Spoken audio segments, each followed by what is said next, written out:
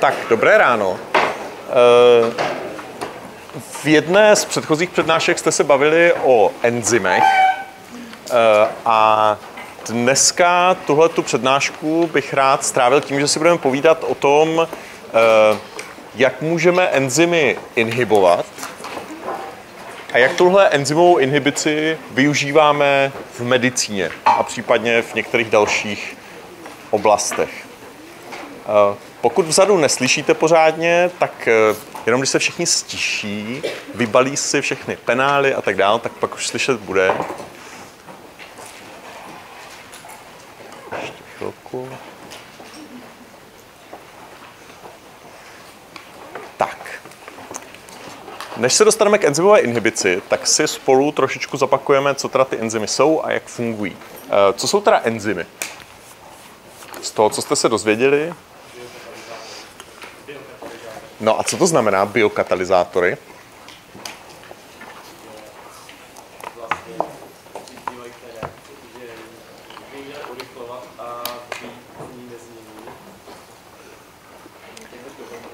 Že můžou urychlovat reakci a to druhé jsem neslyšel?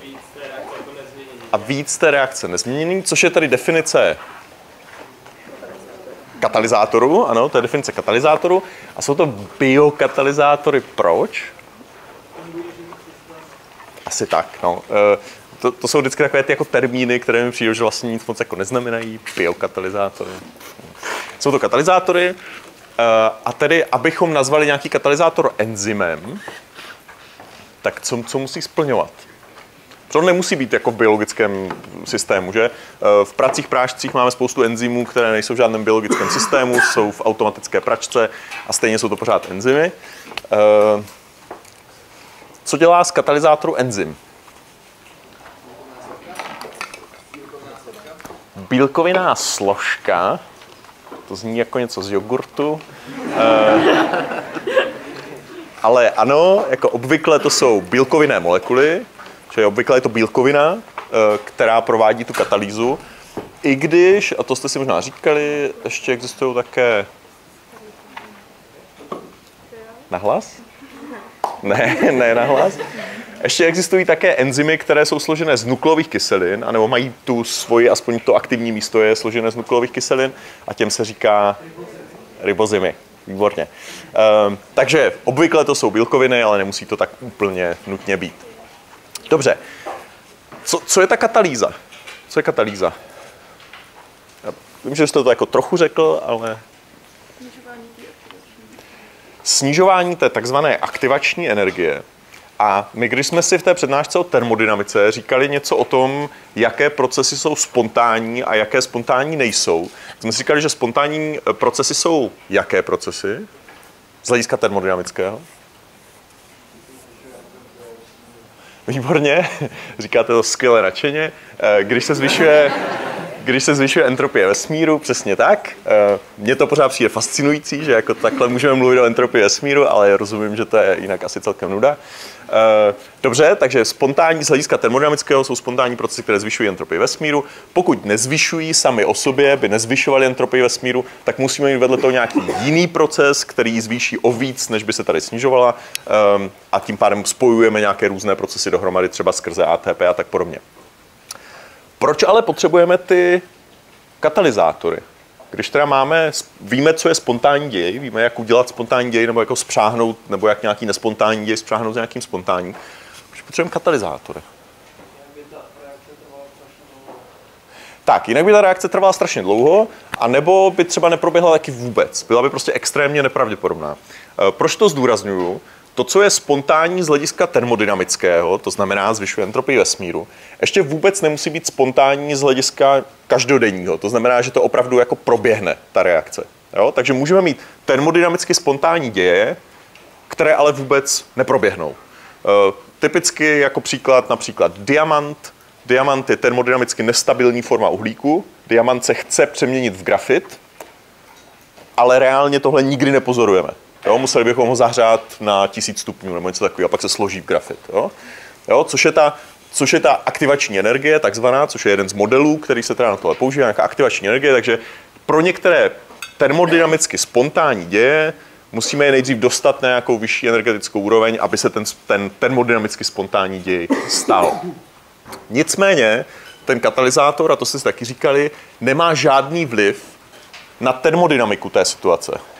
To znamená, termodynamicky nespontánní děj se nestane spontánním tím, že mu přidáme katalyzátor. Ten katalyzátor vůbec nijak nemění rovnováhu, nemá vůbec žádný vliv na to, kde se ta rovnováha ustaví, nemá žádný vliv na termodynamiku. Jediný, co udělá, je, že urychlí to ustavení rovnováhy. Urychlí to, jak, jak rychle se ten systém do té rovnováhy dostane. To je všechno, co katalyzátor dělá. Jo? Super. Tak, vy jste si říkali o jednom z modelů, takovém nejjednodušším modelu a docela dost užitečném modelu, jak popsat uh, to chování enzymu, jak popsat tu enzymovou katalýzu. A ten model, o kterém jste si říkali, vy jste si možná říkali, že to je model, ale je to model, uh, tak ten model se jmenuje podle dvou objevitelů, objevitelky a objevitele. To kinetika Michalis Mentenové, výborně, Michalis Mentenové, Eh, což je nějaká představa o tom, jak enzymy fungují. Ne všechny enzymy podle tohohle modelu fungují, ale spousta jich funguje. Tak, eh, ten model Michalis Mentonové má nějaký matematický popis.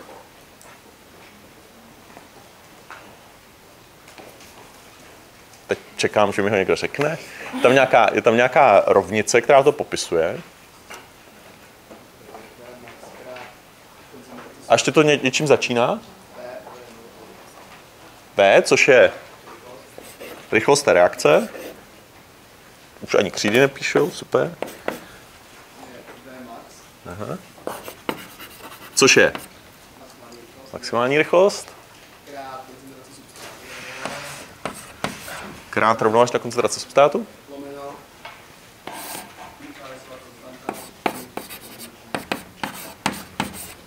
Výborně celkem jednoduchý výraz, celkem i snadno odvoditelný, ale teď ho odvozovat nebudeme. Tohle je tedy model Michalis Mentenové, který je založený na něčem, o čem si, o, čem si řekneme za chviličku. Uh, co je ta Michalisova koncentrace? Co je koncentrace substrátu? Asi si všichni uvědomujete, co je maximální rychlost, je asi tak jasná. Uh, co je ta Michalisova konstanta? Co nám to říká?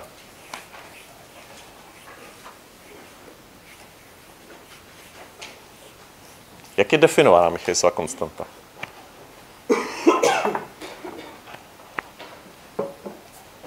To je něco, na co se rádi ptáme v testech. Vůbec nikdo?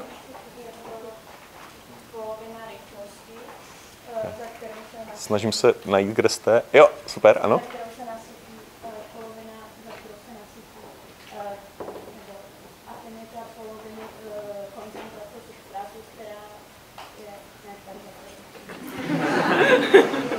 Nějak takhle to je, to máte, máte pravdu. Ještě někdo by zkusil? Ta tam je rozhodně. Ještě by někdo zkusil tu definici říct?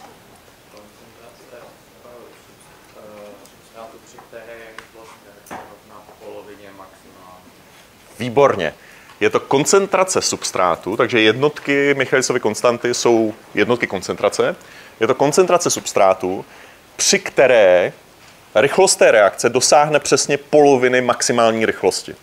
Já vím, že to zní jako hrozně abstraktní formulace, ale za chviličku uvidíme, co nám to vlastně o tom, o tom enzymu říká. Jo? A tohle je definice, kterou byste opravdu jako měli znát a měli rozumět, jo? Co, co to jako znamená. Čili je to, ještě jednou, je to koncentrace substrátu, při které v tom daném systému e, rychlost té enzymem katalyzované reakce dosáhne půlky maximální rychlosti. Ta Michalisova konstanta zároveň je nějakým způsobem odvozená, aspoň tahle ta jako základní Michalisova konstanta, za chvilku uvidíme, proč to takhle zdůraznuju, je odvozená od afinity toho enzymu k substrátu. Afinita znamená, jak snadno ten substrát se váže na enzym, nebo jak snadno enzym váže ten substrát. Jo, a v podstatě čím vyšší je afinita toho substrátu, čím, eh, pardon, no dobře, toho substrátu k enzymu nebo enzymu k substrátu, to je celkem jedno, tak co to udělá s hodnotou Michalisovy konstanty? Bude nižší. Jo, takže čím nižší je Michalisova konstanta, tím, dalo by se říct, má ten enzym vyšší afinitu pro substrát. Jo? Tohle pořád předpokládám za, že je opakování, byť to tak úplně nevypadá. E, Ten celý model Michelise Mentonové je založený na zjednodušeném pohledu na to, co se při té enzymové katalýze děje. A vy jste si to říkali, ten model, ten je v podstatě popsán tak, že začínáme směsí enzymu se substrátem. Ano. Tahle ta směs čistého enzymu s čistým substrátem je v rovnováze s komplexem enzym substrát. Dobře. A jakmile máme komplex enzym substrát, tak předpokládáme, že dojde k té reakci, kterou ten enzym katalyzuje. Jo? To je předpoklad, který samozřejmě pro reálné enzymy ne vždycky úplně platí, ale bylo by to matematicky příliš složité to do toho dávat. Takže předpokládáme, že poté, jakmile vznikne ten, eh, ten komplex enzym substrát, tak vznikne produkt. Ještě bychom tam mohli mít, že vznikne komplex enzym produkt a potom enzym produkt, ale to si nebudeme komplikovat. Jo? Prostě vznikne produkt. To už nás nezajímá. To, co je potom komplexu enzym substrát, už nás nezajímá pro tu naši analýzu. Tak, a pomocí tohohle modelu, a to jste taky viděli, si můžeme udělat graf, který tu kinetiku zobrazuje, který tenhle model teda popisuje graficky. A v tom grafu budeme mít co? Co bude na ose x a co bude na ose y?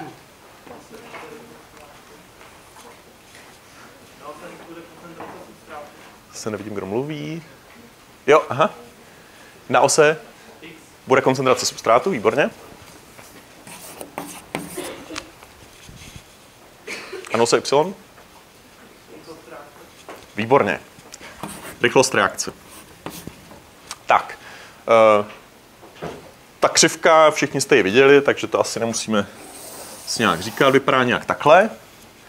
A máme tam teda v tom grafu, můžeme definovat dva základní parametry, který ten, eh, které ten daný systém s enzymem a substrátem budou popisovat. Které to jsou ty dva parametry? Čili ne, ne proměné, ale parametry, které zůstávají, zůstávají eh, pro ten daný systém konstantní. A to jsou které? Tak eh, co z tohohle jsou proměné? Co jsou věci, které se mění vzájemně? Koncentrace substrátu a na ní odpovídá rychlost reakce. Jo? Čím víc substrátu, tím rychlejší reakce. Jo? Jo? To jsou proměné. Výborně. Takže co jsou ty parametry, které nejsou proměné, které jsou konstanty pro ten daný systém? Tak, maximální rychlost a Michalisova konstanta. Maximální rychlost je to, co asi je celkem zřejmé. Je to rychlost reakce, kterou ten daný systém dosáhne kdy? V jaké situaci? Při nekonečné koncentraci substrátu. Jo? Matematicky vzato, velmi jednoduše, když byste si pře, přeskládali ten vzorec, tak zjistíte, že maximální rychlosti dostaneme při nekonečné koncentraci substrátu.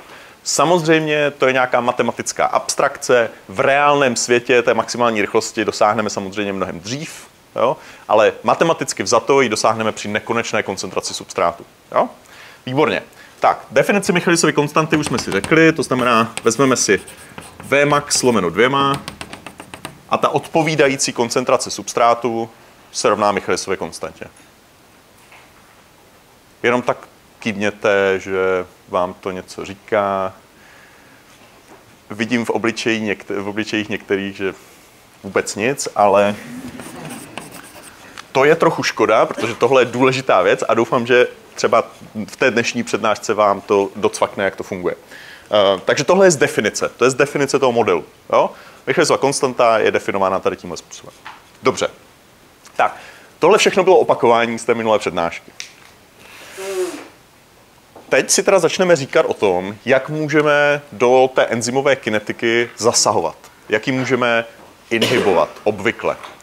Inhibovat většinou znamená, že chceme snížit, snížit rychlost té reakce. To znamená, enzym jako katalyzátor nám ji zvyšuje a my z nějakého důvodu ji chceme zablokovat, snížit tu rychlost. A na to používáme inhibitory. Jo, to znamená, inhibitor je látka, která snižuje rychlost reakce. Jo? No, to je asi celkem běžně používané slovo, asi. Dobře. Eh, podle, pro, proč o tom mluvíme? Proč o tom mluvíme? Protože v medicíně a v různých jiných oblastech lidské činnosti tu, en, tu inhibici enzymů používáme. V podstatě to, co je celkem jasné, naše buňky bez enzymů nemůžou fungovat, většina reakcí sama o sobě neproběhne, potřebujeme ty katalyzátory. To znamená, když v medicíně, v zemědělství, v něčem jiném potřebujeme ně, něčemu ublížit nebo naopak něco léčit, eh, tak můžeme použít nějakou látku, která zpomalí tu reakci a tím pádem sníží koncentraci něčeho nebo naopak zvýší koncentraci těch, eh, těch substrátů a tak podobně. Jo, takže a v té druhé části přednášky si řekneme jeden konkrétní příklad, jednu konkrétní skupinu inhibitorů, které používáme jak v medicíně, tak v některých jiných oblastech eh, lidské činnosti. Takže pak si řekneme úplně konkrétní příklad, jak tu inhibici používáme. A než se dostaneme tam, tak si rozdělíme inhibitory podle jejich mechanismu účinku, podle toho, co dělají, respektive podle toho, jaký vliv mají na tenhle ten model, na tuhle tu kinetiku. A to chci zdůraznit, protože to rozdělení inhibitorů do těch skupin, o kterých už jste si taky říkali na konci té minulé přednášky, je založeno pouze na tom, že se podíváme, jaký vliv to má na tu kinetiku. A tohle budu pořád zdůrazňovat, protože to, co se děje reálně v tom enzymu, to můžou být různé věci, ale nás zajímá, jaký vliv to má na tu kinetiku a podle toho rozhodneme, jestli ten inhibitor je takový nebo makový. Jaké ty typy inhibitorů máme? To už jste slyšeli. Máme kompetitivní, nekompetitivní a akompetitivní. Výborně. Jo? Máme kompetitivní, nekompetitivní a kompetitivní. A dneska si řekneme, co to teda, jak se od sebe poznají. Tak. Kompetitivní inhibitory jsou, jak už název napovídá, jsou látky, které nějakým způsobem kompetují, soutěží s tím substrátem o vazbu na enzym. Podle toho modelu, který jsme si nakreslili, čili tohle je normální reakce enzymová bez přítomnosti inhibitorů, a když přidáme inhibitor, tak ten inhibitor, když kompetuje se substrátem, na co se bude vázat?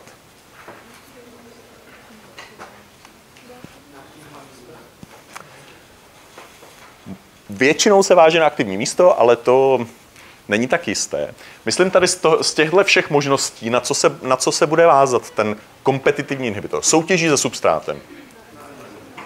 Na čistý enzym. Na nic jiného se nemůže vázat. Jo? buď je na tom enzymu navázaný substrát, nebo je na tom enzymu navázaný inhibitor kompetitivní. Není žádná jiná možnost. Nemůžou být spolu navázané. Jo? To, je otáz, to, je, to je to, co znamená ta kompetice, to je to, co znamená ta soutěž. Jo? Buď se na enzym naváže inhibitor, nebo se na něho naváže substrát. Takže tady v podstatě můžeme udělat odbočku. Přidali jsme inhibitor, který je kompetitivní, kompetitivní inhibitor. Vytvoří se nám komplex enzym inhibitor, který samozřejmě není nijak enzymově aktivní. Jo? Ten inhibitor žádnou reakci nedělá. Jo? Tak.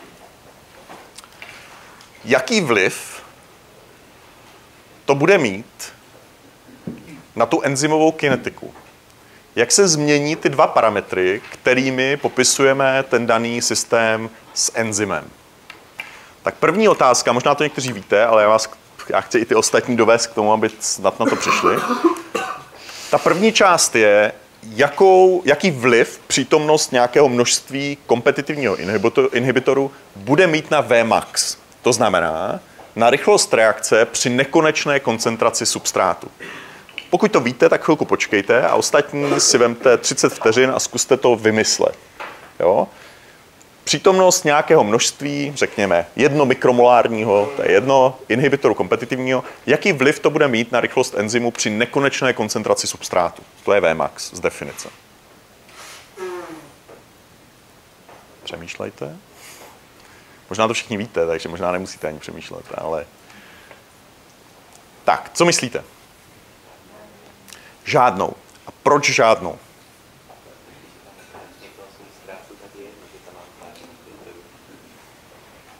OK, přesně tak.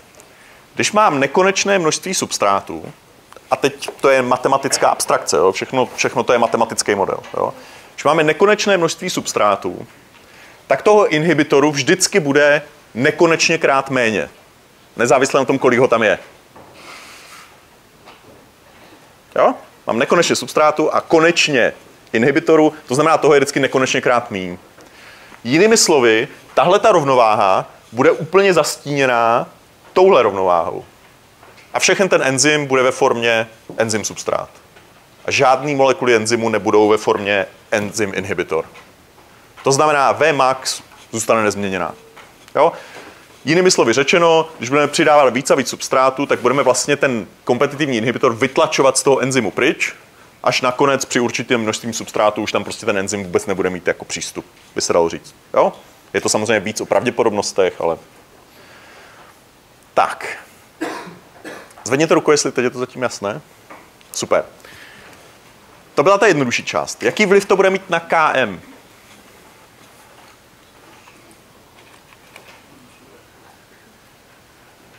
Já moc nerozumím, co říkáte. Slyším jenom ší, což má obě ty možnosti, mají ší na konci. Matematicky by to mělo být pořád stejné. A proč myslíte, že by to mělo být stejné? Aha, dobře. To nevím, proč matematicky z toho vyplývá úplně. To jsou dva nezávislé parametry. Vmax a Km jsou dva nezávislé parametry a mezi nimi někde je ta křivka. Ale my můžeme s nimi hýbat nezávisle na sobě. Jo? Takže jako matematicky nutně to nemusí být stejné.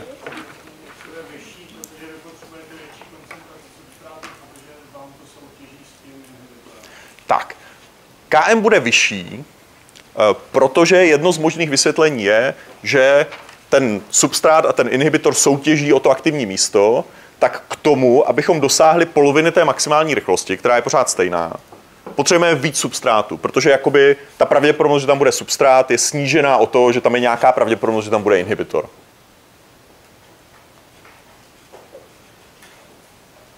Jo? To je jeden způsob vysvětlení. Ten druhý způsob, který vychází z tohohle modelu, já jsem na začátku říkal, že Michalisova konstanta je nějakým způsobem odvozená od afinity enzymu a substrátu k sobě vzájemně. A ta afinita je popsaná vlastně poměrem enzym substrát ku enzym plus substrát. Té rovnováhy mezi tím, jak se váže. Jo? Čím více ten substrát váže, čím je víc afinitní, tím víc bude ES, čím méně se váže, tím víc bude E plus S. Jednoduchá rovnováha. Jo? A KM nám nějakým způsobem popisuje, kde ta rovnováha bude. Jo? Tak, co udělá přítomnost toho, co udělá přítomnost toho uh, inhibitoru, toho kompetitivního? Protože najednou část těch enzymových molekul může existovat jako enzym inhibitor, tak ta rovnováha se posune směrem k těm reaktantům. Protože tady nám vlastně část toho enzymu se vlastně jakoby odsává pryč. Takže tahle ta rovnováha, kterou ta Michalisova konstanta vlastně popisuje, se posune tímhle směrem. Posune se směrem k reaktantům. A když se posune směrem k reaktantům, tak to vypadá, jako by ten enzym měl vyšší nebo nižší afinitu nižší afinitu. Jo? Protože tam je jakoby víc těch reaktantů a méně produktů, takže to vypadá, jako by ten enzym měl nižší afinitu. A to znamená, že KM bude vyšší. To je druhý způsob, jak se to dá popsat. Jo? Oba dva fungují stejně. Jeden je empirický a druhý je z toho matematického modelu. Jo? Takže KM správně bude vyšší. Jo? Takže Vmax bude pořád stejná. Vmax děleno dvěma bude taky pořád stejná, ale KM s čarou bude vyšší u kompetitivního inhibitoru. Tak, teď chci jenom zdůraznit, že samozřejmě v přítomnosti toho inhibitoru kompetitivního se afinita toho enzymu reálně nijak nemění. Ten enzym zůstává pořád stejný. Ten enzym má pořád stejnou reálnou afinitu, jakoby, jo? To aktivní centrum vypadá pořád stejně, ten substrát vypadá taky pořád stejně. Jo, s tím enzymem jako takovým se nic neděje. Ale protože ta kinetika, kterou tady máme, je založena na nějakých rovnováhách a ty rovnováhy se posunou, tak to vypadá, jako by ten enzym měl najednou nižší afinitu k substrátu. Jo? Ale vlastně to jakoby není pravda. S tím enzymem se nic neděje. Jo? Jenom se nám tam posunuly ty rovnováhy. Super. Jak jste teda zavřeli to okno, tak si myslím, že už se nám tady zvyšuje množství oxidu uhličitého a všichni začínáte pomalu usínat. Uh, tak jenom možná, když by někdo třeba to okno otevřel, nebo některý z těch vyšších, aby to na vás netáhlo tolik, ale myslím si, že nám to pomůže uh, dávat pozor. Uh, super. Až, až vy na krajích budete mrznout, tak řekněte a zase, zase je zavřem. Jo? Ale je, je hodně vidět, že to na vás jako působí, jak je tady vydýchaný vzduch. Dobře, tak, zvedněte ruku, jestli rozumíte fungování kompetitivních inhibitorů. Jestli je vám jasný, jak to funguje a proč to funguje. Super, skvěle. Tak, pojďme se podívat na nekompetitivní inhibitory.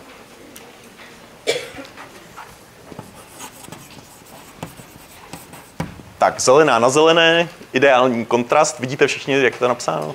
Jo? Super. Tak, e, nekompetitivní inhibitory jsou teda už jako z logiky věci, jsou inhibitory, které nekompetují se substrátem. To znamená, že se váží na ten enzym nezávisle na tom, jestli tam je ten substrát nebo tam není ten substrát. Substrát, vazba substrátu na enzym nehraje vůbec žádnou roli pro vazbu nekompetitivního inhibitoru. Jo? Souhlasíte se mnou, že to tak je? Dobře. Když se podíváme na ten náš model, tak kam se bude vázat nekompetitivní inhibitor?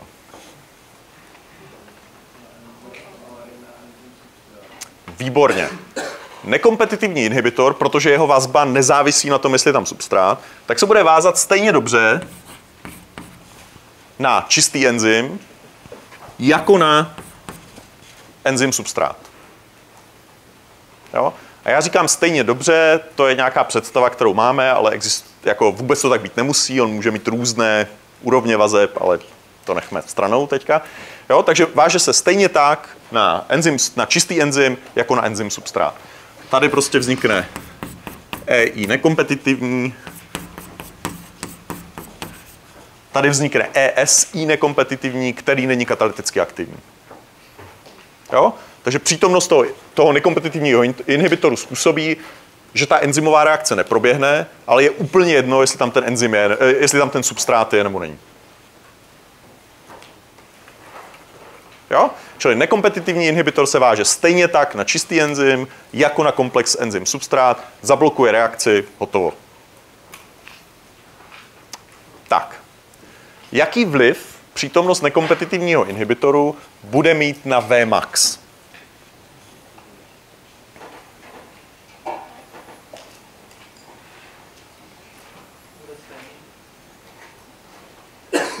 Jenom kdo mluví? Jo. Tak zaznělo tam někde z rožku, že bude stejná Vmax. Proč si myslíte, že bude stejná? Já vůbec nevím, kdo to řekl, ale to je výhoda, teď se můžete schovat, že? To je super. Tak pokud je tu někdo další, kdo by to chtěl vysvětlit, proč zůstane stejná? Nikdo si netroufá a to je dobře, protože nezůstane stejná. Sníží se. Proč se sníží?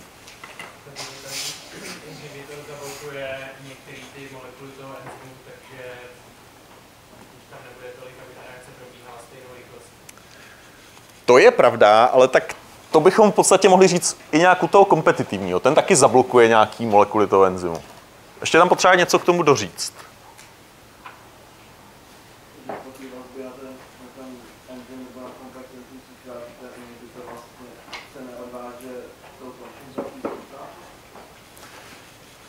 Ano, ano, ještě, no.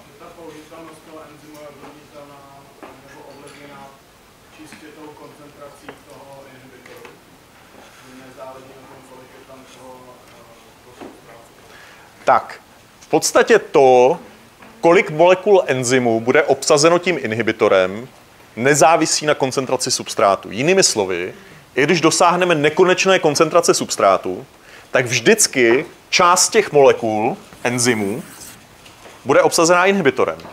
Jo? Při nekonečné koncentraci substrátu budou všechny molekuly enzymu, bez inhibitoru, budou ve formě ES. Je to tak? No, ale protože ten inhibitor se klidně na ES naváže taky, tak i při nekonečné koncentraci substrátu část těch molekul bude v komplexu ESI a tím pádem budou katalyticky neaktivní. Takže Vmax bude nižší v přítomnosti nekompetitivního inhibitoru. Jo? Jo? Zvedněte ruku, jestli je vám to jasné. Dobře, už začínám mít trošku pocit, že některý už zvedáte ruku jenom jako, aby se šlo dál, ale uh, pokud vám to není jasné, tak pak uh, až budou dotazy, tak se na to klidně zeptejte, protože jakmile tohle jednou pochopíte, tak nejen, že se to už nemusíte pak učit, ale už to prostě máte v sobě, ale dokonce v dalším kurzu, kde se budeme bavit o vazbě ligandu na receptor, o tom, jak se různé hormony vážou na receptor, tak použijeme úplně stejný mechanismy a ještě pochopíte další velký kus toho, co se jako děje v našich buňkách. Jo? Takže je důležité to pochopit. Tak, co se stane s Michalisovou konstantou? Čili Vmax klesne v přítomnosti nekompetitivního inhibitora. Co se stane s Michalisovou konstantou? Tak, je tu nápad, že se nezmění. A proč se nezmění? Protože se nezmění afinita substrátu k enzymu. No, to je pravda, ale to jsme si v podstatě trošku řekli i u toho. Já vím asi, jak to myslíte, ale zkusíte to ještě nějak dovysvětlit? Asi radši ne. Jako? Přesně tak. Nezmění se ta rovnováha, protože ten inhibitor se váže k oběma stejně. Takže tahle rovnováha, která nám dává tu Michalisovou konstantu, je stejná. Jo? Protože ten nekompetitivní inhibitor se váže k obou stejně. Jo? Ano?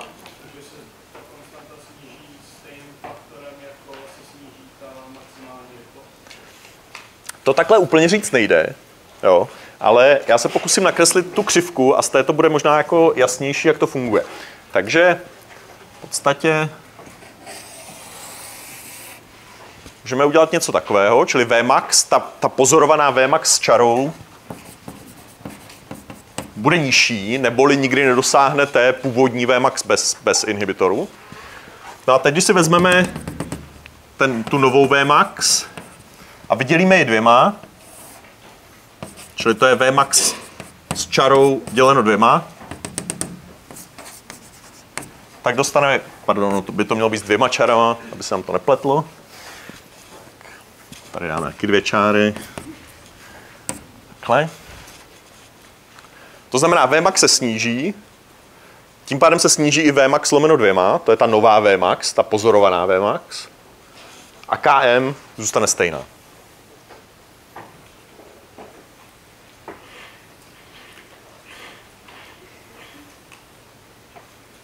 Jo? Dává to smysl? To grafické znázornění je spíš tak, jako abyste měli nějaký obrázek. Mně přijde lepší to pochopit z toho modelu té enzymové kinetiky, protože já si myslím, že tam je to jako relativně zřejmý. Jo? Dva parametry. Jeden záleží na tom, kolik máme ES, což je katalyticky aktivní komplex, to je Vmax. A druhý parametr závisí na rovnováze mezi ES a E plus S v podstatě. Jo? Z toho se dá už potom všechno ostatní pochopit. Tak, uh, jenom zvedněte ruku, jestli rozumíte nekompetitivním inhibitorům. Bezva. Tak a ta poslední skupina jsou takzvané akompetitivní nebo antikompetitivní enzymy, uh, inhibitory, pardon, inhibitory. Uh, to je taková zvláštní skupina, kterých neexistuje nějak extrémně moc, ale existují a jsou používány v medicíně. A ty akompetitivní inhibitory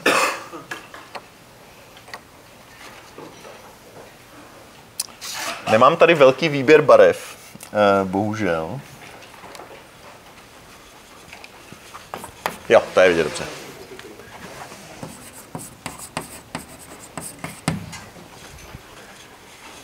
Kompetitivní inhibitory jsou zvláštní v tom, že se váží pouze na komplex enzym substrát. Vy to všechno víte, tak to pojďte, klidně to můžete opřet. Ne? To je dobrý, to je super. Uh, a kompetitivní inhibitory se vážou pouze na komplex enzym substrát. Neváží se tedy na uh, čistý enzym, ale jen na enzym substrát.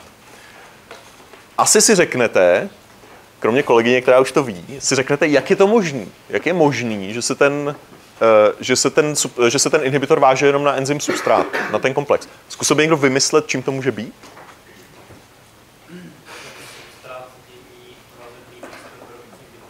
Přesně tak. To vazebné místo je vlastně u normálního enzymu, u samotného enzymu neexistuje. A až teprve, jakmile se na něho naváže substrát, tak se změní konformace toho enzymu a otevře se to vazebné místo pro ten inhibitor. Jo? Takže je to takzvané indukované vazebné místo. Je to prostě místo, které tam normálně není, ale až teprve vazba enzymu ho vlastně odhalí pryč. Ho odhalí, aby, aby, se, tam ten, uh, aby se tam ten inhibitor dostal. Tak. Čili máme tady a kompetitivní inhibitor, který se váže jenom na tohle, vytvoří nám komplex S I a kompetitivní.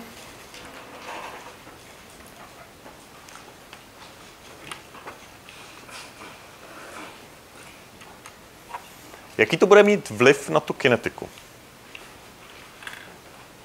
Jaký to bude mít vliv na Vmax?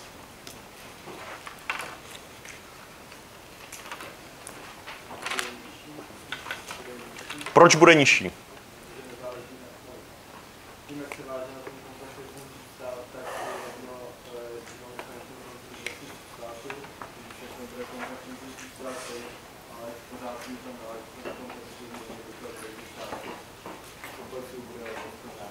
Přesně tak. Jo? I v nekonečné koncentraci substrátu bude nějaká část toho komplexu enzym substrát mít navázaný ten inhibitor, tím pádem nedosáhneme Vmax. Dokonce tady u tohle inhibitoru, čím víc máme komplexu ES, tím víc inhibitorů bude navázáno. Jo? Takže vlastně ta vazba toho inhibitoru bude vyšší a vyšší a vyšší, čím víc tam bude těch ES. Jo? Což nemá zase tak úplně veliký vliv na to celé. Dobře, takže Vmax bude nižší u akompetitivního inhibitoru. Co se stane s Michalisovou konstantou? Použijte to, co jsme si proč myslíte, že bude stejná?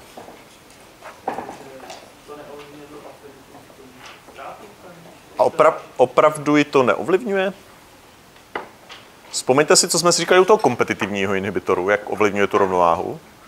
A ten kompetitivní inhibitor ji ovlivňuje úplně stejně, ale na druhou stranu.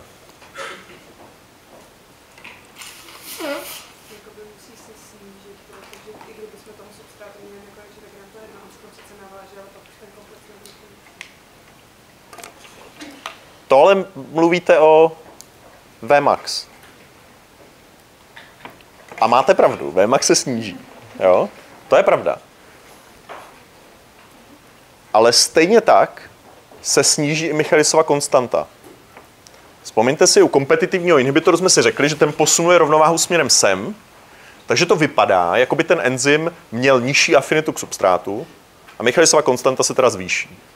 Tady máme opačnou situaci ten nekompetitiv, nekompetitiv, eh, pardon, ten akompetitivní inhibitor posunuje rovnováhu směrem sem a vypadá to, není to tak doopravdy, ale vypadá to, jako by ten enzym měl vyšší afinitu k substrátu, jako by ho vázal víc, protože prostě vzniká víc toho, eh, toho komplexu enzym substrát. Jo? Ta rovnováha se posune na druhou stranu. Takže Michalisova konstanta se opravdu sníží v tomto případě. Čili sníží se jak Vmax, tak Km ten enzym sám má pořád stejnou afinitu. Jo? Ten enzym se jako nezměnil. Ale ta rovnováha se změnila a tím pádem se změní i kinetika toho enzymu. Jo? Takže snížená Vmax a zároveň snížená Michalisova konstanta. Tak, to je vždycky věc, která se hrozně těžko kreslí. Uh, takže já to zkusím nějak nakreslit, ale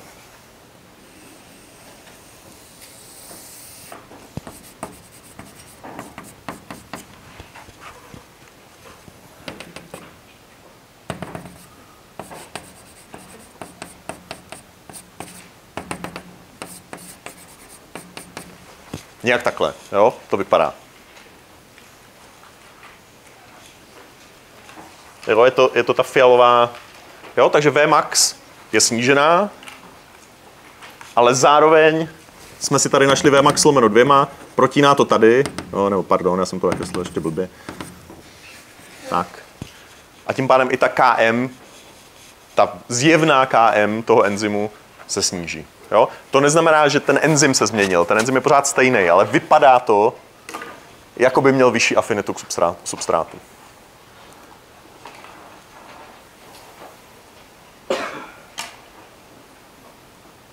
Tak, zvedněte ruku, jestli vám dávají smysl a kompetitivní inhibitory.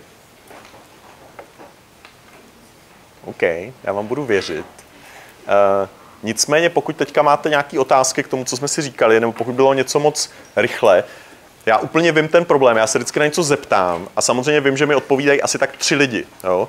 Uh, takže vy, co neodpovídáte, tak se vůbec nebojte teďka zeptat na ty věci, které už vypadají, že už jsme je jako řešili, protože je taky důležité, aby vy jste to taky pochopili, pokud jste to nepochopili. Ano?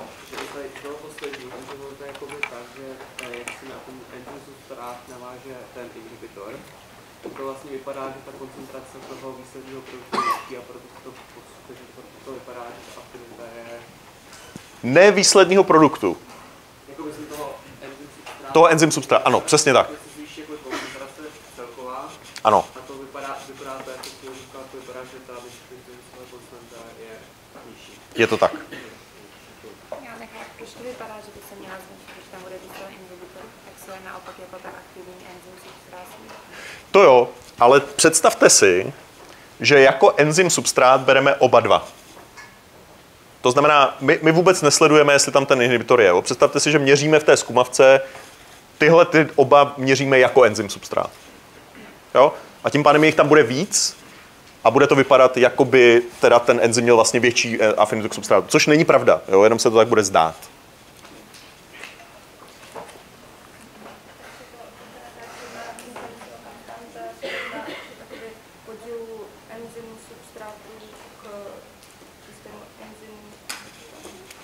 Je to tak, ta Michalisova konstanta je nějakým způsobem odvozená od rovnovážné konstanty tady téhle reakce. Jo? Takže v podstatě Michalisova konstanta nějak popisuje tuhle tu rovnováhu. Jo? Ne úplně přímo, ale nějak.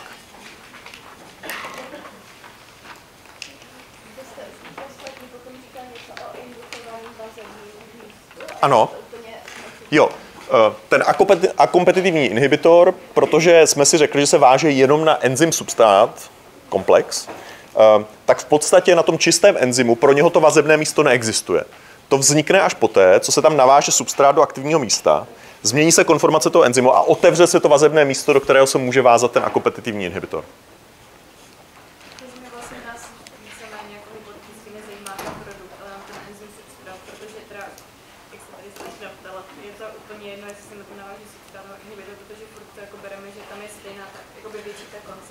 Není jedno, jestli se váže substrát nebo inhibitor. Ale je jedno, jestli se váže substrát nebo substrát a inhibitor. Prostě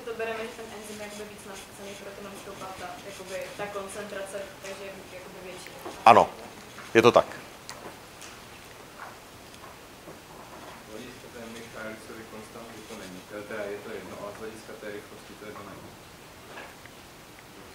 No jistě, samozřejmě. Ano, ano, přesně tak. Čili z hlediska Michalisovy konstanty, jestli je to ES nebo ESI, je jedno. Eh, z hlediska rychlosti reakce to samozřejmě jedno není, protože tenhle ten komplex není, není katalyticky aktivní. Tak, nejsou-li další dotazy, tak si dáme tříminutovou přestávku a budeme pokračovat potom. Já jsem slíbil, že ve druhé části přednášky se pokusíme podívat na nějaké konkrétní uh, inhibitory, které používáme v medicíně nebo jinde. Uh, bohužel se mi nepodařilo, možná jsem slepej, tak kdyby někdo z vás to viděl, se mi nepodařilo najít houbu, takže úplně nevím, jak to mám smazat, takže budu používat, kdybyste ji někdo někde viděli, tak mi řekněte. Uh, a já budu používat teda tu bílou uh, tabuli. Tak, uh, inhibitorů enzymů, nebo takhle, ještě máte někdo nějakou otázku k té první části, co vás ještě třeba napadlo, že vám to nedává smysl? Ne. Dobře. Uh, já se teda, těch, těch inhibitorů v medicíně existuje celá řada. Uh, já je potom na konci přednášky ještě můžu zmínit třeba nějaké další. Ale já se zaměřím jenom na jednu jedinou skupinu inhibitorů jednoho jediného enzymu. Uh, a ten enzym se jmenuje acetylcholin esteráza. Acetylcholin esteráza.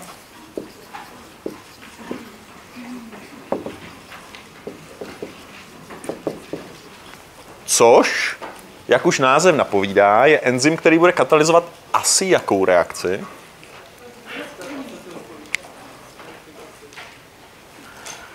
Jo, tam jste, ano, ještě jednou no, mohlo by to tak být, ale není to esterifikace, ale je to ten opačný proces.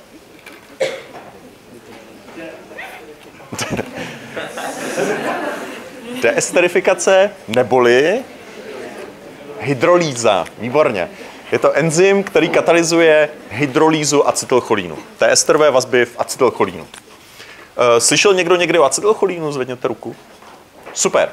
Co to je acetylcholín? Je to neurotransmitter, výborně. Víte něco víc o něm?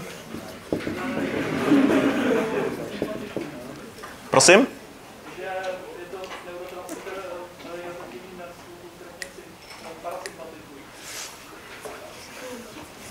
Ano, ale to autonomní nerstvo má nějaký různý neurony, první neuron, druhý neuron a je to trošku komplikovanější, ale OK, spojujeme ho často s parasympatikem, to je pravda. Uh, čili je to neurotransmitter, který je jednak v centrálním nervovém systému a jednak v periferním nervovém systému. V periferním nervovém systému je například v parasympatické nebo v tom druhém neuronu parasympatického autonomního nervstva. To teď nechme stranou, pokud vám to nic neříká. Ale důležitá část eh, toho periferního nervového systému, kde je acetylcholín, jsou nervy nebo nervová vlákna, která inervují kosterní svaly. To znamená, všechny kosterní svaly, tak abyste teďka mohli sedět, dýchat, eh, já bych se tady mohl hýbat a mluvit, eh, tak používají acetylcholín jako neurotransmitter. Čili na tom spojení nervu se svalem, na takzvané nervosvalové plotence, je tím neurotransmitterem výhradně acetylcholín. Zároveň je acetylcholín tedy v centrálním nervstvu, kde, eh, kde dělá spoustu různých věcí. Eh, je důležitý pro ukládání paměti, eh, je důležitý pro některé motorické dovednosti, to znamená pohyb, pohyb nějaké plánování pohybu. Nicméně, a to si budeme říkat potom ve třetím kurzu, acetylcholín je jeden z těch minoritních neurotransmiterů. To znamená, že těch neuronů v centrální neuronové soustavě, které používají acetylcholín, je prostě, nevím, desetina procenta, nebo možná ani to ne. Je to prostě strašně malinko neuronů eh, v tom mozku, v centrálním neuronovém systému, které používají acetylcholín. Nicméně, kdybychom ho neměli, tak nemůžeme vůbec fungovat. Jo? A můžeme si, vlastně pak si řekneme trošičku, co to, eh, co to způsobuje. Jo? Takže to je jenom krátce k acetylcholínu. Acetylcholín vypadá takto a jak jste správně řekli, nebo jak jsme celkem přišli na to, že acylcholin esteráza tedy katalyzuje hydrolýzu téhle molekuly a co teda vznikne, když rozbijeme tu esterovou vazbu? Vznikne kyselina octová a cholín, který se mi teď nechce kreslit. Jo? Uh, jo, kyselina octová a cholín. K čemu je acetylcholin esteráza? Tepnul by si někdo?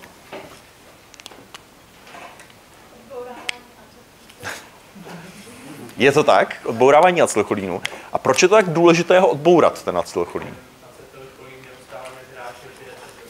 Přesně tak. Na synapsy nebo na nervosvalé plotence, když se vyleje acetylcholín, tak začne nějak skrze svoje receptory, začne působit na tu cílovou buňku. A působil by, dokud by tam byl, tak by na ní furt působil. To znamená, kdyby prostě nerv poslal tady prostě do bicepsu nebo tricepsu nějaký signál, tak prostě by se ten sval stáhl a byl by pořád stažený. Jo? Takže je logické, že musíme ten acetylcholin nějak se musíme zbavit. Ve třetím kurzu si řekneme, jaké různé mechanismy na to jsou, ale jeden z možných mechanismů je, že prostě tu látku, ten neurotransmitter rozbijeme, že ji degradujeme velmi rychle.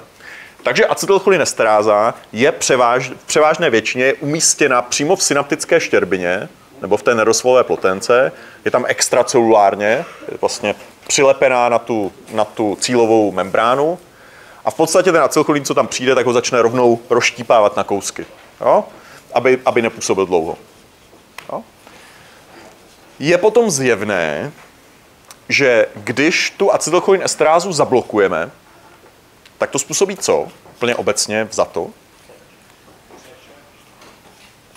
Ano, může to způsobit křeče. Já si myslel úplně obecně, co to způsobí, čili to způsobí zesílení toho signálu, uh, jo? což na začátku nemusí být vůbec křeč, pak to může být křeč a pak, uh, což teda si víc řekneme uh, ještě v tomhle kurzu, ale později, když si budeme říkat o tom, jak funguje sval, tak to taky může způsobit naopak paralýzu, kompletní paralýzu, nějakým mechanismem, o kterým si řekneme asi tak za 14 dní nebo tak nějak. Jo?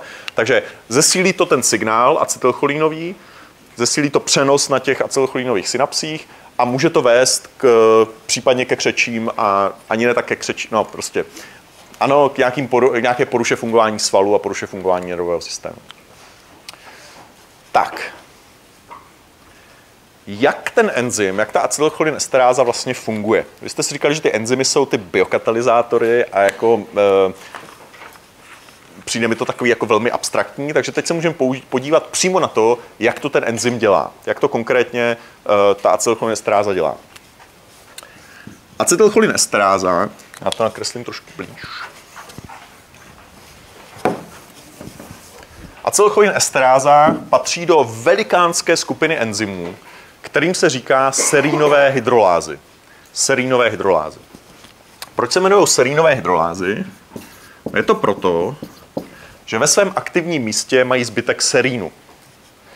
A těch serínových hydroláz je fakt obrovská spousta. Některé jsou esterázy, takže rozbíjí esterové vazby, ale spousta z nich jsou třeba peptidázy.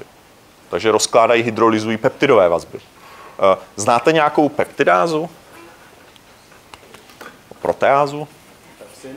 Pepsin, výborně. Je serínová proteáza. Jo? Trypsin je serínová proteáza. Jo? Všechny mají vlastně velice, velice podobný mechanismus, jako vám teďka ukážu u té acetylcholine esterázy. Jo? Tady je to esterová vazba, tam je to peptidová vazba, ale ten mechanismus, mechanismus je velmi podobný.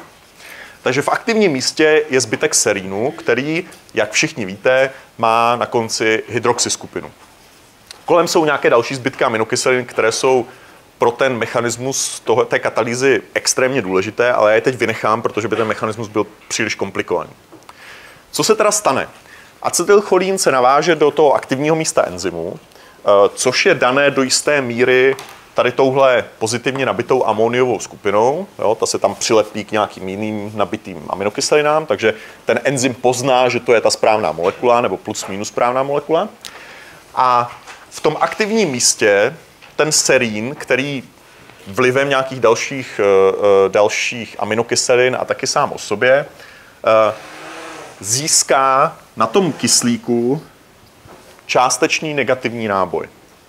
Jo, je to proto, že nějaké další aminokyseliny mu odtrhávají ten proton trošku a tak, jo? takže má částečně negativní náboj.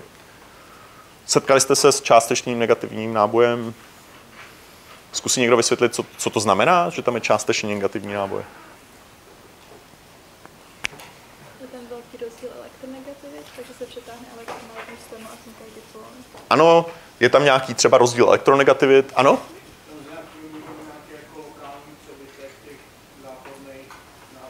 Přesně tak. V podstatě to znamená, že ty elektrony, které jsou tady v těchto vazbách, tak tráví víc času kolem toho kyslíku, než by trávili kolem, řekněme, tady toho vodíku nebo případně něčeho dalšího. Jo? Což je daný taky tím, že se o to nějaký další aminokyseliny tam přetahují. Jo? Parciální náboj znamená, je tam víc elektronů, jakoby. Ale ne, že jsou tam pořád, není to plný negativní náboj, ale jenom tak trochu. Tak. V téhle molekule, kromě toho, že tady máme nějaký stabilní pozitivní náboj, ti z vás, kdo mě třeba víc organické chemie, byli byste schopni tam identifikovat nějaký jiný parciální náboj? té molekule acetylcholínu tentokrát. Jste mluvila o tom rozdílu elektronegativit?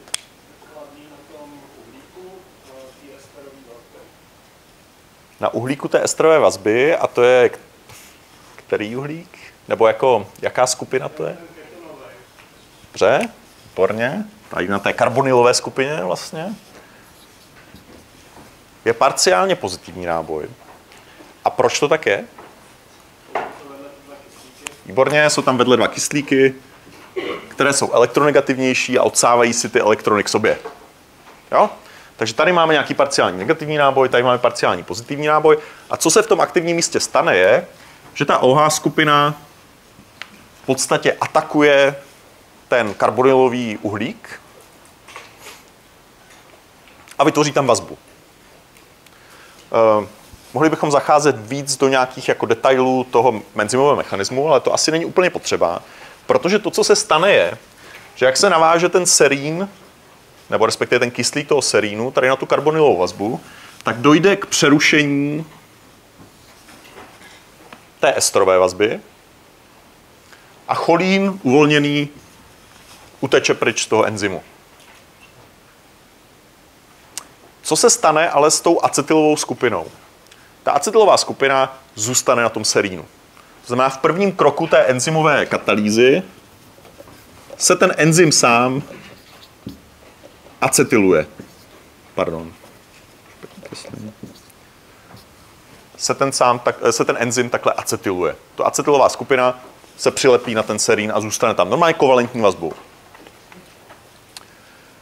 V druhém kroku té enzymové katalýzy přijde molekula vody a v podstatě udělá to samé, akorát je v tom ještě o trošku lepší a taky v tom pomůžou nějaké další aminokyslinové zbytky, které jsou okolo. Napadne zase vlastně tu, tu, eh, tu karbonylovou část toho, toho acetátu, nebo toho acetylu a uvolní kyselinu octovou. Čímž se regeneruje ten enzym zpátky a ten serín je znova vlastně může znova navázat další acetylcholín a takhle ho, takhle ho rozložit. Jo? Takže takhle přesně to funguje. V podstatě to, co ten enzym tam dělá, je, že tím, že to rozdělí na dva různé kroky, tak zrychlí tu reakci, protože kdybychom ten acetylcholín jenom nechali takhle ve vodě, tak sice ty molekuly vody by byly schopné taky ho atakovat, ale všechno trvá prostě mnohem díl, prostě ne, není tak jednoduchý pro ty molekuly vody, aby to začaly rozkládat, ale když my vlastně do toho vložíme ten mezikrok s tím serínem, plus, jak říkám, jsou tam nějaké důležité, tam nějaký histidín, nějaký glutamát, které se tam nějak přetahují o protony a tak dále, tak když vlastně uděláme takové speciální prostředí, tak to všechno jde mnohem, mnohem rychleji. Jo? A vlastně tím se takzvaně sníží ta aktivační energie.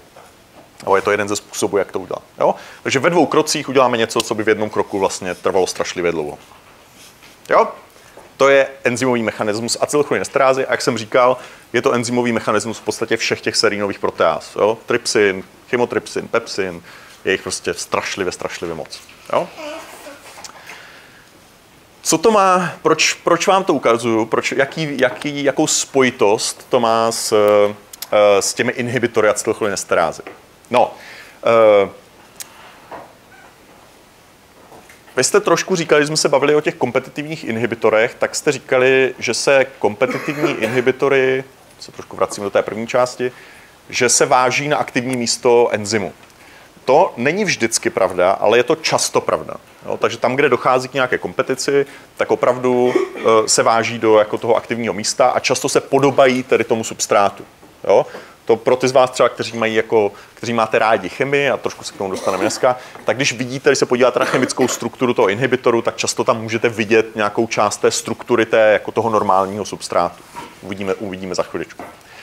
Nicméně, to, jestli nějaký daný enzym je kompetitivní nebo nekompetitivní, nezávisí pouze, nebo nejde to zjistit z toho, kam se váže nebo neváže. Z čeho se to dá zjistit? Z té kinetiky, přesně tak. Podíváme se na kinetiku a jenom na základě kinetiky poznáme, jestli je kompetitivní, je kompetitivní a kompetitivní. Jo? Ne podle toho, že zjistíme, kam se váže. Jo? To pro nás může být nějakým způsobem zajímavé, ale nechme to teď, teď stranou. Tak. Pojďme se podívat na inhibitory acetylcholinesterázy. Jeden z inhibitorů, který rovnou řeknu, že to není žádný skvělý inhibitor, ale já vám ho ukážu proto, protože to je nějakým způsobem instruktivní vypadá v podstatě úplně stejně jako acetylcholín. Já vám ho nakreslím. Pak mi můžete říct, co je na něm jiného.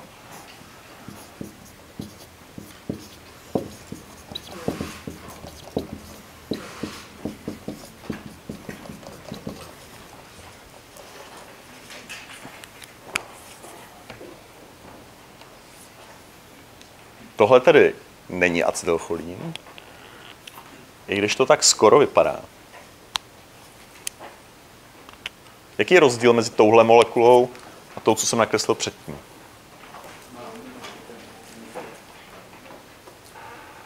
Jo. Má tam aminoskupinu navázanou. Jak by se to jmenovalo, to celé? Věděl by někdo? Nebo jak by se jmenovala tahle ta skupina? Není to amid. Mm-mm. Výborně. Je to zbytek kyseliny karbamové. To zbytek kyseliny karbamové, výtečně. A celá tahle ta molekula se, se jmenuje karbamylcholín. Jako jsme měli acetylcholín, tak toho se bude jmenovat karbamylcholín. Jo? V medicíně se tenhle karbamylcholín používá a protože lékaři nemají většinou dost času, tak to všechno zkracují a jmenuje, říká se mu karbachol.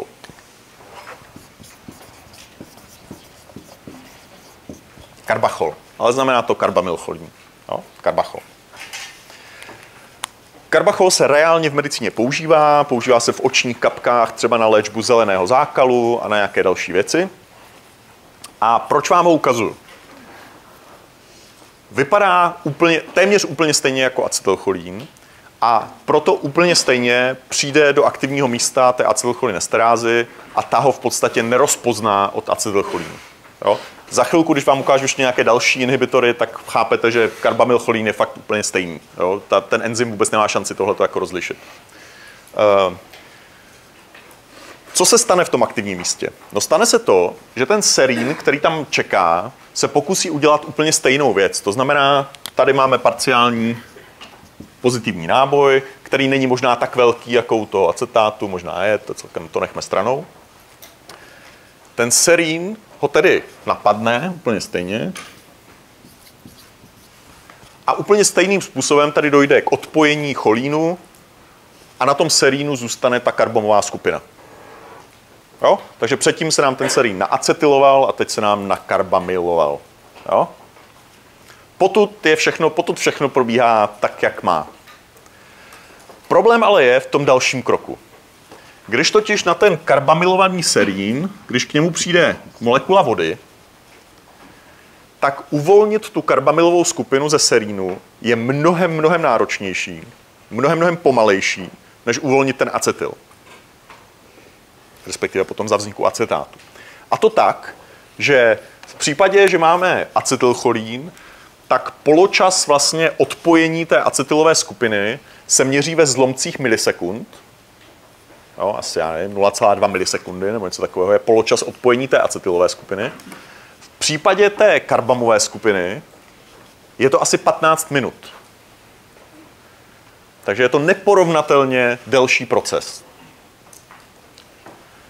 To samozřejmě způsobí, že po celou dobu těch 15 minut, a protože to je jenom poločas, tak ono reálně to je pro většinu těch molekul mnohem víc, je ten enzym nefunkční, protože má zablokovaný ten serín a tím pádem nemůže pracovat. To samozřejmě logicky vede ke snížení rychlosti té katalýzy a ke zvýšení acetylcholínu v té štěrbině. Tak, teď už vidím, že ani ty otevřená okna už úplně nefungují, aby vás udrželi při... Uh, ale snad, snad za chviličku vás něco ještě, ještě uh, zaujme. Takže stačí takováhle malá změna té molekuly a ta molekula karbamylcholínu se začne chovat jako inhibitor toho enzymu, prostě proto, že ten, ten nový substrát, ten falešný substrát, prostě zůstává de facto v tom enzymu delší dobu a tím pádem neumožňuje, aby ten enzym jel tak, jak by jel. Tak, co myslíte? Je, je karbachol kompetitivní nebo nekompetitivní inhibitor? A to byl ten důvod, proč jsem předtím udělal jako tu odbočku zpátky k tomu, co jsme si říkali na začátku. Na chvilku si to promyslete. Je karbachol kompetitivní nebo nekompetitivní inhibitor? Nebo akompetitivní v tomto případě? To asi není, že? Chvilku to promyslete si, jo? Ještě, ještě počkejte chvilku.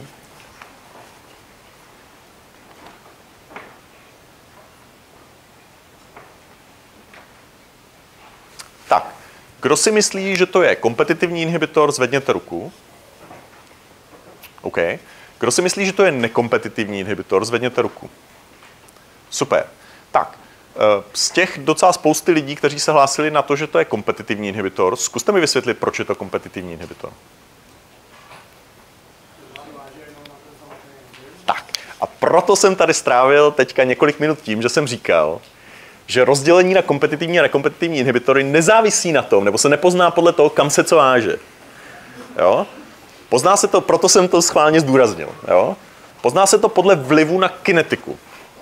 Jo? Máte pravdu, váže se tady, tady se rozhodně váže do aktivního centra. Jo? ano. Přemýšlíte chytře. Proč je nekompetitivní? Protože se sníží Vmax. Jo? Prostě nějaká část těch, těch molekul enzymů bude mít zablokovaný ten serín, v podstatě nezávisle na tom, kolik my tam budeme spát toho acetylcholínu, protože prostě dokud je ten serín obsazený, obsažen, eh, obsazený tím karbamátem, tak prostě ten acetylcholín nevytlačí pryč ten karbamát. Jo? Ten důvod, já vím, že teď jsem vás asi všechny jako úplně zmátl, jo, protože jste si řekli, no tak váže to do aktivního centra, vlastně i ta vazba bude kompetovat, že jo? Oni budou vzájemně kompetovat o to, jestli přijdou do toho aktivního centra, jo? Ale jakmile ta karbamilová skupina je tam navázaná, tak už žád, žádné kompetici nedochází. Ten enzym je prostě nefunkční, nezávisle na tom, jestli je tam spousta acylcholínu nebo ne. Ten důvod, proč vás to takhle mate, je, že karbachol se v podstatě chová jako irreverzibilní inhibitor. Jo, on je reverzibilní. Jo, po 15 minutách uteče, ale prostě 15 minut proti 0,2 milisekund je prostě tak strašlivě dlouhý čas, že vlastně se chová jako irreverzibilní inhibitor. Všechno to, co jsme si říkali předtím o těch uh, kompetitivních, nekompetitivních a kompetitivních inhibitorech, předpokládá, že ten inhibitor je reverzibilní. Jo? Že přijde a kdykoliv může odejít. Jo? V podstatě všechny, nekom, všechny irreverzibilní inhibitory budou vypadat jako nekompetitivní inhibitory. Jo? Plus minus. Jo? Tak jenom jsem teďka chtěl dát stranou ty irreverzibilní inhibitory, které kineticky budou vypadat jako nekompetitivní, i když vlastně způsobem své vazby by jakoby měly být kompetitivní a vlastně nějakým způsobem taky kompetují. Ale když se podíváme na tu kinetiku, tak většina z nich bude vypadat jako nekompetitivní inhibitory. Celé tohle to říkám z dvou důvodů. Rozdělujte se inhibitory na reverzibilní a irreverzibilní. U těch reverzibilních platí všechno to, co jsem říkal předtím. U těch irreverzibilních hmm, z hlediska kinetiky budou vypadat jako nekompetitivní, ale vlastně se nedá úplně říct, že jsou to nekompetitivní inhibitory. Jo? Oni tak budou vypadat, ale vlastně moc nejsou. Takže reverz, irreverzibilní inhibitory si nechme stranou jako speciální typ inhibitorů. Jo? Reverzibilní, reverzibilní. Tak, já jsem říkal na začátku téhleté části, že karbachol, i když se používá v medicíně a používá se celkem jako široce, třeba na ten zelený zákal, na některé další věci, je velice špatný inhibitor acetylcholinesterázy. Z nějakých chemických důvodů je to prostě problém pro tu acetylcholinesterázu s tím cokoliv udělat. Je to inhibitor, ale je fakt špatný. Jo? Takže já jsem vám ho spíš teďka řekl z nějakých jako didaktických důvodů, protože je hezky na tom vidět, jak se podobá acetylcholinu, ale vlastně to není žádný jako dobrý, uh, dobrý inhibitor. Nicméně, já vám teďka ukážu jiný inhibitor, který je naopak velmi, velmi, velmi, velmi, velmi dobrý. Ten vypadá takhle. Samozřejmě ty struktury ne, nemusíte vědět. Teda struktura acetylcholínu časem budete muset vědět, ale ty ostatní struktury nemusíte vědět.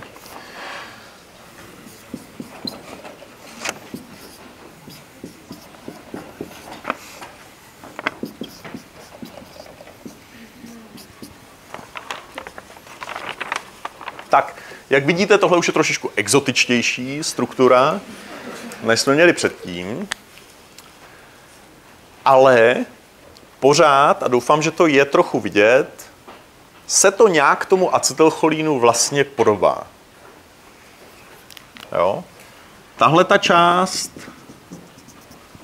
se trochu podobá tomu acetylu a tahle ta část se trochu podobá té cholínové části. Jo? Jako už to není tak hezký jako u toho karbacholu, proto jsem ho použil předtím jako didakticky, ale, ale vidíte nějakou podobnost. Možná. Tak, pro enzym jako acetylcholin esteráza je tohle v podstatě acetylcholin. Jo? E, ten enzym, jo, možná trošičku jako bude mít nižší afinitu k tomu, ale prostě není nějak dramaticky, jo. Acetylcholinestráza je takový jako promiskuitní enzym, který prostě začne rozkládat lecos. Ke své vlastní škodě. Ke své vlastní škodě. E, protože když ten serín v aktivním místě se pokusí zaútočit na ten fosfor tady,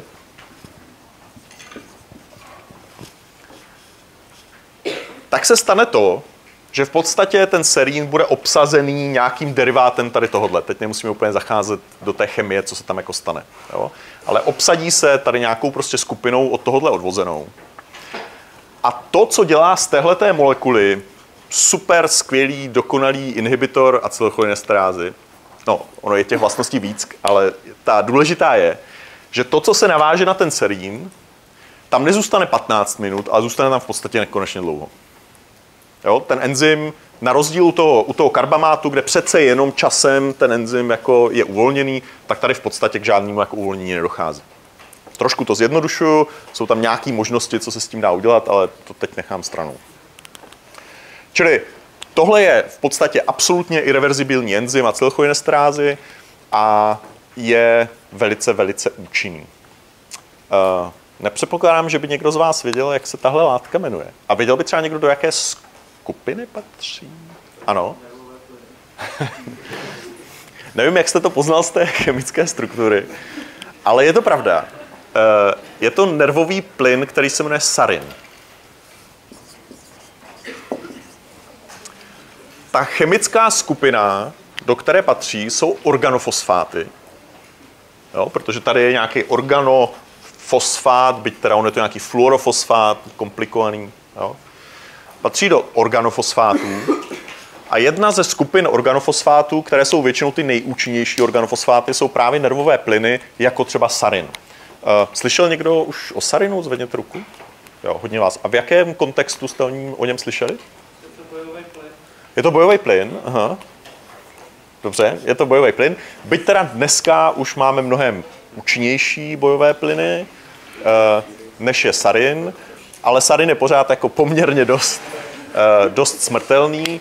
Eh, vy už si to samozřejmě logicky pamatovat nemůžete, protože jste asi nebyli ani na světě, ale v 90. na konci 90. let byl poměrně velký teroristický útok v Tokiu v metru, Eh, který spáchala eh, sekta Om Shinrikyo, kde použili právě sarin a umřeli tam desítky lidí, eh, protože je to prostě fakt hodně jako smrtelné.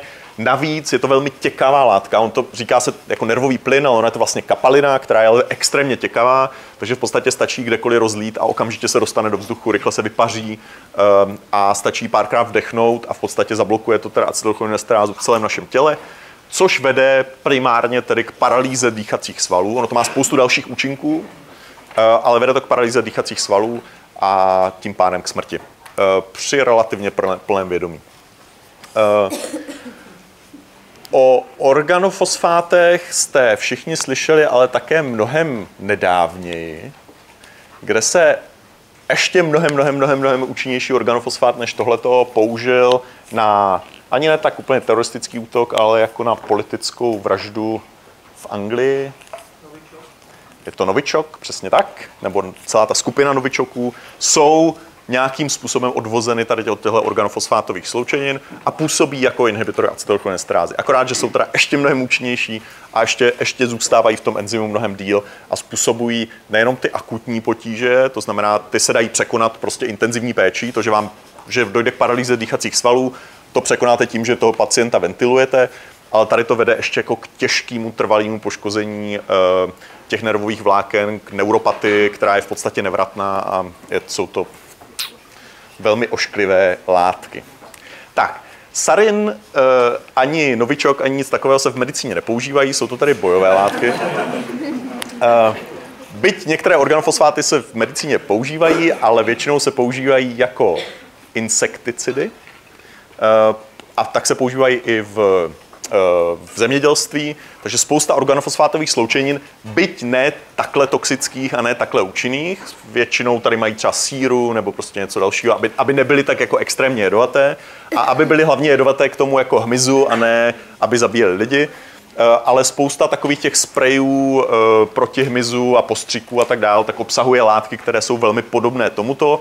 A je to prostě dáno tím, že vlastně hmyz je mnohem eh, citlivější na inhibici acetylcholinesterázy a vede to u nich vlastně k smrti mnohem dřív než u člověka, který přece jenom se s tím dokáže nějak vyrovnat, protože třeba máš nějaké jiné enzymy, které to dokážou rozkládat a tak podobně. Jo, takže eh, v zemědělství prostě tady ty organofosfátové sloučeniny se používají eh, poměrně dost. Tak, nicméně, tím jsme ještě, ano? fungovalo by to, kdyby tam byl jiný alkohol? Jako tahle ta skupina by byla jiná? No určitě, určitě. To jako eh, odkazuji vás na internet, tam se podívejte na organofosfátové sloučeniny a těch existuje prostě stovky a mají tam úplně jiné skupiny a někdy už to vůbec nevypadá jako acetylcholín a stejně to pořád funguje. No. Jo. To je právě, že ten enzym je takový jako, že vezme cokoliv skoro. Tak, eh, jak jsem říkal, nervové plyny se v medicíně nepoužívají, ale používáme kromě karbacholu, který ale jeho hlavní mechanismus účinku je trošku jiný, eh, tak používáme jiné sloučeniny, které jsou reverzibilními inhibitory acetylcholinesterázy. Jo, takže tyhle všechny jsou irreverzibilní nebo téměř irreverzibilní, ale používáme taky reverzibilní. A já vám jenom jeden ukážu. Zase tu strukturu neočekávám, že budete, eh, že si zapamatujete.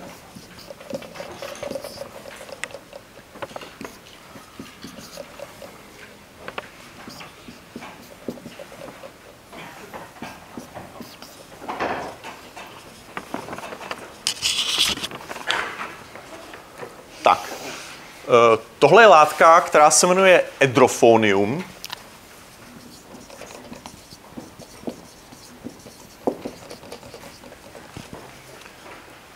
A je to reverzibilní kompetitivní inhibitor acetylcholinesterázy. Um, vidíte tam někdo ten acetylcholín?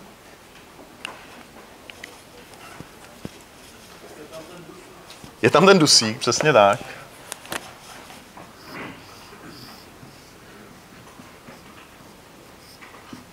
Jo. Tahle ta část vypadá v podstatě úplně jako cholín. Ale jistě. Jo. Ta horní část vypadá jako cholín, takže se bez problémů zasune do toho, do toho aktivního místa enzymu, eh, té acetylcholinesterázy a tam prostě kompetuje s vazbou acetylcholínu.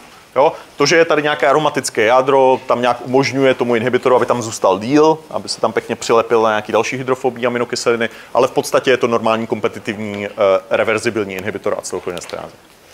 K čemu se používá? Uh, používá se v takové jako velmi specifické situaci. Uh, existuje nemoc, která vlastně znemožňuje nebo velmi zhoršuje tu acetylcholínovou neurotransmisi právě na nervosvalové plotence, to znamená využití acetylcholínu jako neurotransmiteru mezi nervem a svalem. Uh, a tahle ta nemoc se jmenuje myastenia gravis. Myastenia gravis, což v podstatě znamená jako závažná, velmi, velmi závažná svalová slabost. Myastenia gravis.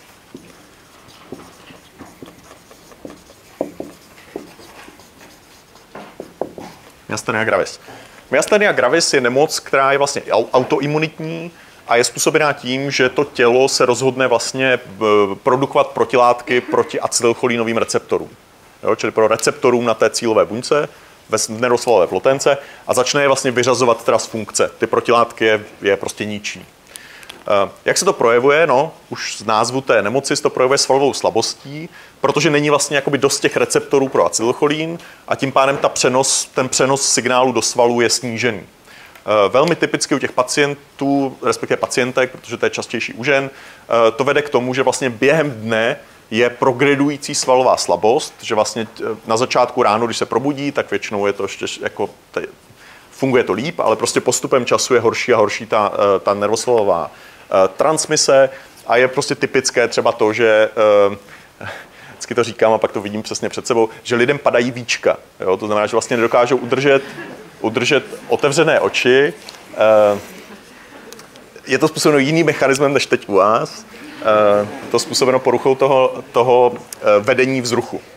Tak, my samozřejmě máme nějakou léčbu, máme nějakou léčbu, používají se nějaká imunosupresiva a tak dál. Ale k čemu se používá to edrofonium? To edrofonium se nepoužívá na léčbu, ale používá se na diagnostiku. Jak to funguje? Eh, těch typů svalové slabosti, kde někdo prostě progresivně prostě ty svaly nefungují, je celá řada. Různý genetický onemocnění a tak dále, celá řada. Když vám teda přijde pacient, pacientka tady jako s nějakou takovou eh, slabostí, tak jeden z možných způsobů diagnózy je, podat velmi krátce účinkující inhibitor acetylcholinesterázy, jako je třeba edrofonium. Injekcí podáte to edrofonium. A to způsobí na nějakou krátkou dobu zvýšení množství acetylcholínu v té štěrbině synaptické. Jo? Protože se inhibuje acetylcholinesteráza, toho acetylcholínu tam zůstane víc, takže i když těch receptorů je tam míň, tak my ten signál dostatečně posílíme pomocí tady téhle látky. Dává to smysl? Super. Co se stane? Tomu pacientovi, pacientce se najednou zlepší ta svalová slabost a vlastně na, na nějakou dobu jsou schopní fungovat. A protože tohle to proběhne jenom tady u tohoto typu svalové slabosti, tak je to v podstatě diagnostický test, který, eh, který nám jasně řekne, že ta diagnoza je tahleta. Jo? Takže to je velmi specifické použití velmi krátce účinkujícího kompetitivního uh, inhibitoru acetylcholinesterázy. To poslední použití, ano? Proč by tam nefungovaly ty ostatné acetylcholinesterázy? A okrem toho edrofonie? Um, například ty, které spomenul předtím. Jo, uh, třeba sarin. Fungo, fungovaly by, fungovaly by, ale to edrofonium má jako velmi malý nežádoucí účinky, není tam jako ri, eh, riziko nějakého předávkování, který by vedlo zase třeba k paralýze nebo něco dalšího. Fungovaly by ty ostatní, samozřejmě. Ale. Ano, jo, a tady tohle má krátký poločas účinku, takže velmi rychle se to vyplaví z těla. Jo. Jinak by fungovaly určitě, ano. Proč to nemůžeme použít jako léčbu? No, protože my víme, že příčinou myastenie gravis je autoimunitní útok, takže my musíme léčit ten autoimunitní útok. Jo? Tohle by nějakou dobu fungovalo, ale ve výsledku by to nefungovalo, protože bychom za chvilku přišli o všechny ty receptory. Jo? Takže musíme řešit tu příčinu a nejenom vlastně ten symptom. Jo? Jako ano, fungovalo by to, ale, ale to není to, co chceme udělat. Úplně poslední věc. Eh, Léky, které jsou mnohem rozšířenější než nějaké edrofonium, které jsou používány celkem běžně a jsou taky jsou taky reverzibilními kompetitivními inhibitory acetylcholinesterázy, jsou léky na Alzheimerovu chorobu. Alzheimerova choroba, jak možná víte, je způsobená nebo se projevuje odumíráním právě acetylcholínových receptorů, takzvaných cholinergních receptorů v mozku a vede tedy ke ztrátě paměti. A my sice neumíme v tuhle chvíli zastavit to odumírání těch neuronů, ale aspoň na nějakou dobu můžeme zpomalit tu ztrátu paměti tím, že vlastně zvýšíme množství acetylcholínu aspoň u těch zbývajících neuronů, které tam ještě jsou. Takže většina léků, které se dneska používají takzvaně na Alzheimerovu chorobu, oni nic neléčí. Jo? Oni jenom jako zpomalují tu ztrátu paměti.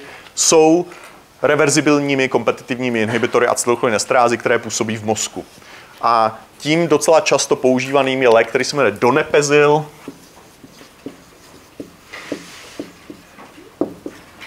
ale jsou další jako rivastigmín, nebo dříve se používal takrín, který dneska už se nepoužívá, protože je hepatotoxický, ale spousta dalších léků, které tady se používají takzvaně na Alzheimerovu chorobu, jsou v podstatě jenom symptomatickou nějakým pokusem vyždímat z těch neuronů, které tam ještě jsou v podstatě, nebo udržet tam ten acetylcholin co nejvíc, aby se udržela ta paměť, jinak to neléčí.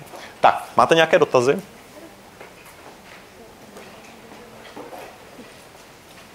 Doufám, že jste hlavně pochopili ten princip. Tady tohle spíš bylo nějak jako ilustrační, abyste věděli, k čemu to celé je.